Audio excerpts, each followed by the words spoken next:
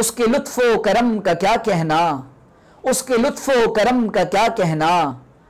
बात रब पे जो छोड़ देता है, टूटे रिश्ते वो जोड़ देता है।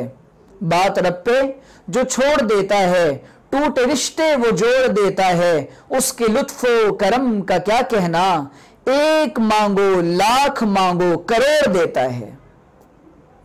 तो हमारा हाल तो अल्लाह का मामला हमारे साथ तो ये है ना तो बंदगी का एहसास पैदा करें कि अल्लाह हम बंदे हैं, बगैर इस्तेकाक के आप नमतें अता फरमा रहे हैं।